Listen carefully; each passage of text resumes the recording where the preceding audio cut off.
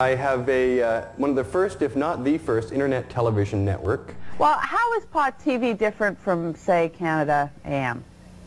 Yeah, well, it's the only broadcast in the world that's substantially about a subject matter that's illegal. But why then can't the police just shut you down?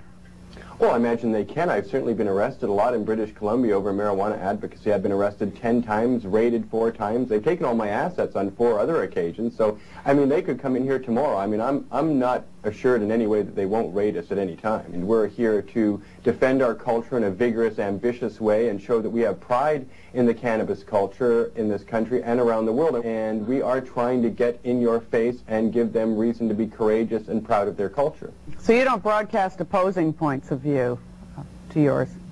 Uh, on our show, no, no, no. The, the, the establishment media has been the lapdog for the government persecution for so long. We don't we think that there's plenty of propaganda out there representing the government's point of view.